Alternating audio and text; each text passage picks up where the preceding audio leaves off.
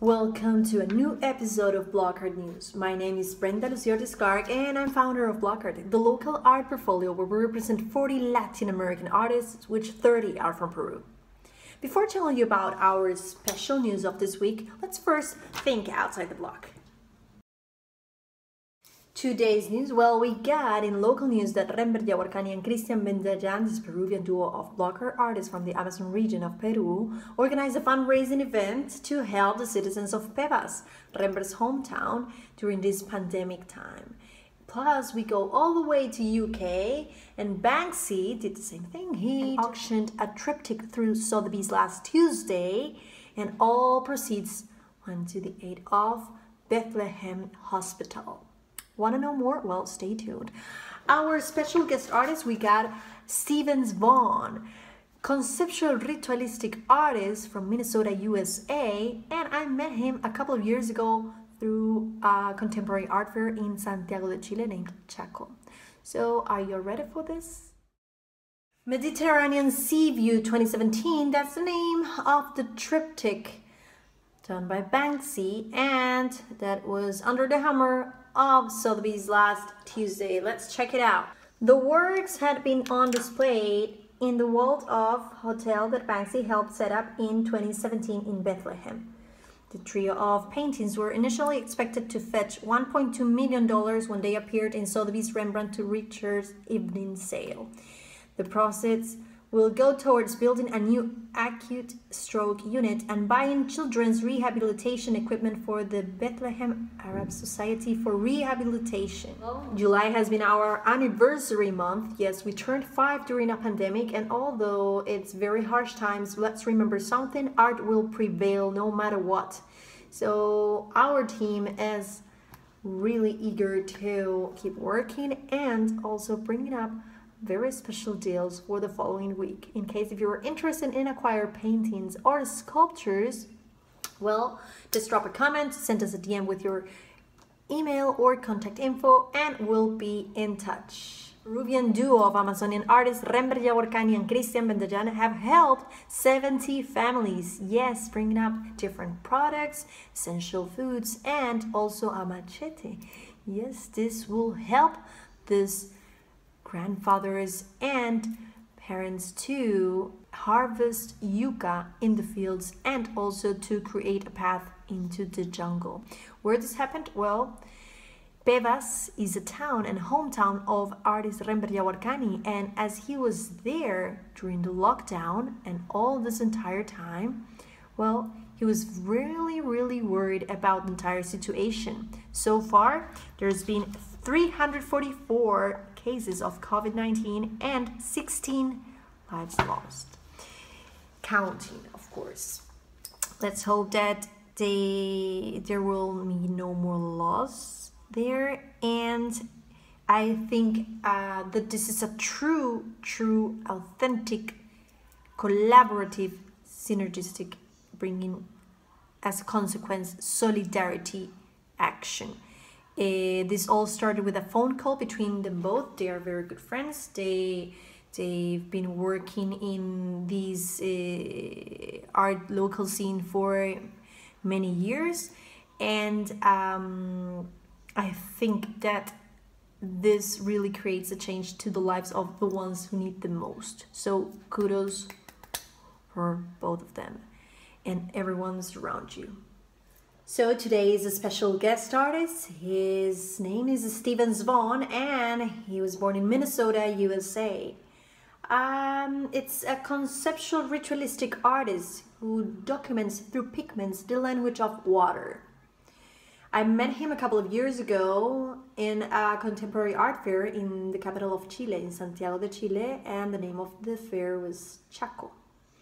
I totally connected with the energy that he brought up to me, and I just dig and love the philosophy that he follows, the nation philosophy that you find imperfection in a state of perfection.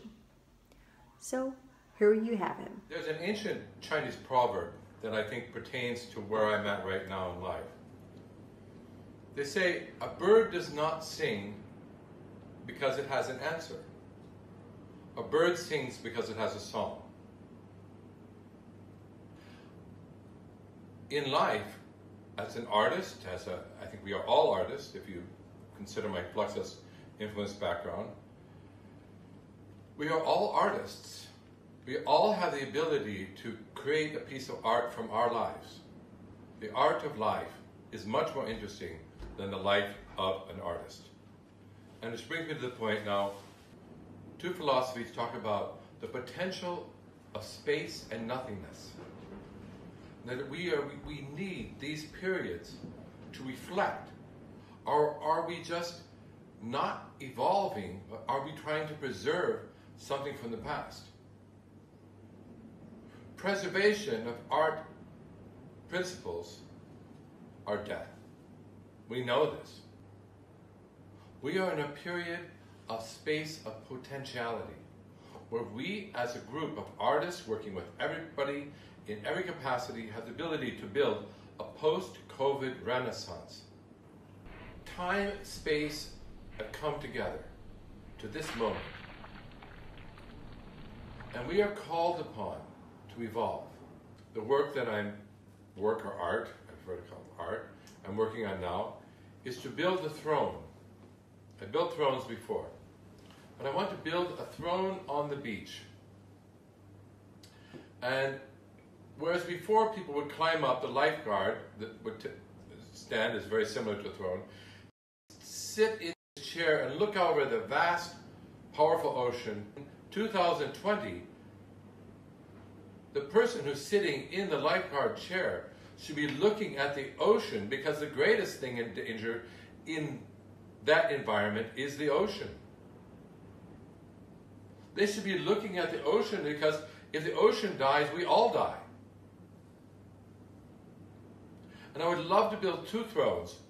One set out in the ocean and one set on the shore. So that we can realize we are looking at each other. We, the ocean is, is conscious of us and we are conscious of the ocean and the people.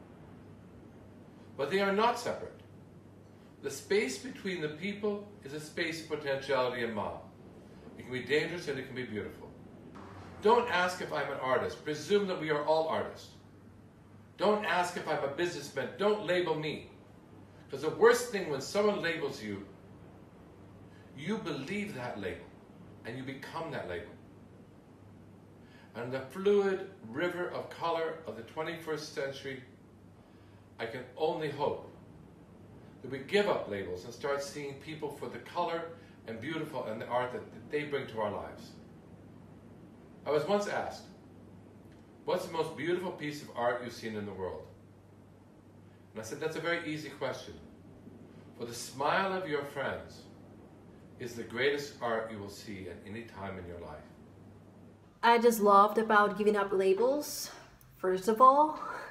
And yes, that's true. Once you believe this, then you just make them exist. Second thing that he did, he said, and I really want to highlight is like about this post-COVID renaissance. And third thing is about the most beautiful piece of art that he has seen is the smile on his friends for sure. And I, I'm a 150% believer that you can just share a lot through a smile not even saying a word to someone that you don't even know at all. Um, I want to thank you a lot, Stevens, and your team, Joe also, for making this happen. I know that this is a very small collaboration, but it really means a lot.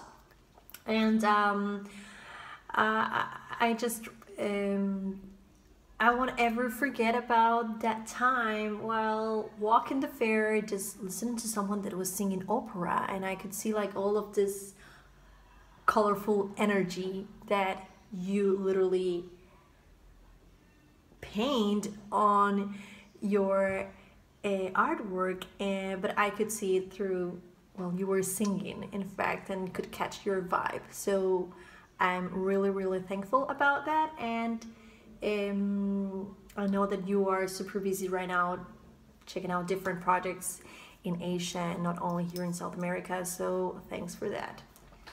Well, guys, so this was everything for today's app, and I really hope that you enjoy it.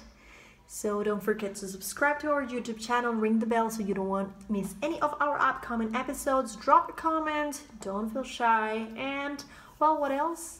Be skeptic, keep safe, question everything, and think outside the block.